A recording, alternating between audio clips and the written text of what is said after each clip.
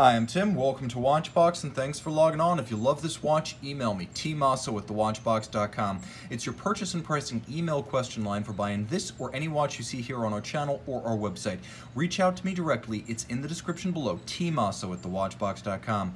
And today we're discussing the most talked about watch of 2019. This is the Audemars Piguet Code 1159 chronograph, 41 millimeters in red gold. We're going to talk about all of the reasons this watch might be a little bit underrated and everything you don't see in the online photography of the model. Let's start with the size, 41 millimeters. It's thinner than I expected at 12.8. Remember, a Rolex Daytona is typically about 12.3, 12.4.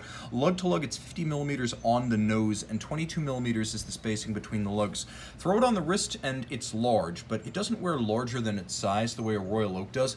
It wears like a 41. It's beefy and there's definitely a lot of gold going on here. I would recommend it for a wrist no smaller than 14.5 millimeters just because it is so substantial. It sort of dwarfs the wrist. It, visually, it reads as a bigger watch than it is.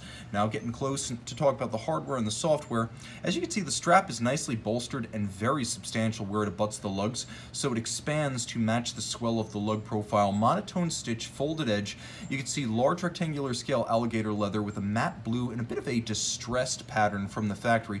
You can see this is a brand new AP factory strap, and AP now using Gator on both sides like FP Journe and Chopard.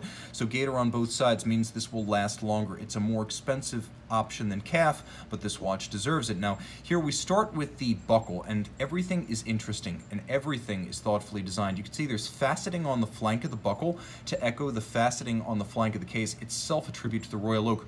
You will note that the screws fixing the strap to the case and the buckle to the strap are both hexagonal, another reference to the Royal Oak. You can also see something you easily miss if you just look at photos, the soldier shots online. The lugs themselves are actually quite gossamer, hollowed out and spare. They're graceful even.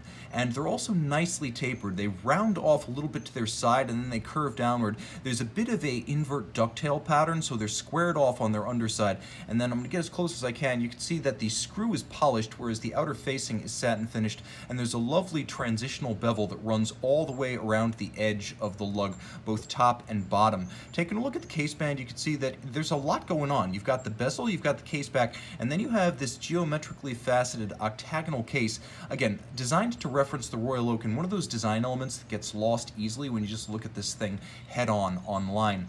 The crown is large and deeply knurled, which makes it an absolute pleasure to wind.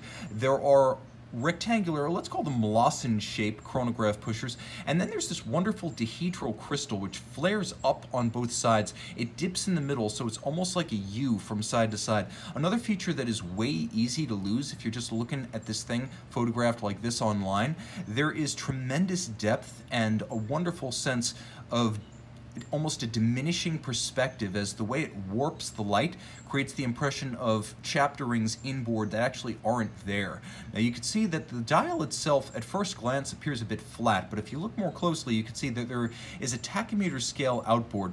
The dial with rose gold chapter rings, hands, applique, and logo features a rich blue lacquer and a matching monotone blue date disc. Now the timepiece is a flyback chronograph, something that got lost in the discussion of the model, and that is a standard feature of the new caliber 4401. We'll take a look at it in just a moment, but I want to call attention to my favorite parts of this dial. The chapter ring, which gives it that third dimension that's missing in the head-on shots, and then the fact that the registers themselves have big, broad, beveled rose gold chapter rings, giving the style more color and reflective character than it appears to have if you're just looking at press photography. Press photography normally makes watches look sexier than they are. They actually made this one look a lot worse, but it plays well in person, and as you can see, the case back is impressive. This is the new manufactured caliber 4401. AP finally doing away with the old Piguet 1185s. A lot to talk about here. First of all, it's big, broad, and open. It's a properly sized movement for a 41 millimeter case, so you don't get the sense that the movement itself is undersized properly built for the case size. You can see it's shock resistant. Thanks to a full balance bridge and a free sprung index, it beats away at 28,800 vibrations per hour. It has both stop seconds and a quick set date, and the chronograph mechanism, in addition to being a flyback standard from the factory, features a black polished column wheel and a vertical clutch. So the engagement, thanks to the vertical clutch, is very smooth. There's no jump or stagger, and the pusher feel is among the best in the business thanks to a perfectly tuned column wheel.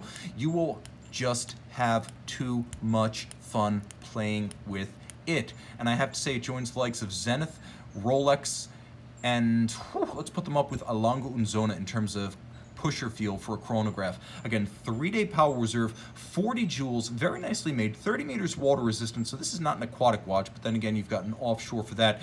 You can see, though, it's principally mechanically finished. It is handsomely decorated and thoughtfully designed, so everything is visible and beautiful. It's a bidirectional winder, so it doesn't have that unidirectional wobble that's common today, and it uses ceramic rotor bearings, so it's better able to last between services, so better efficiency, less maintenance, ceramic bearings, rose gold case, blue dial, flyback chronograph, hugely underrated. Email tmosso at thewatchbox.com for purchase and pricing details.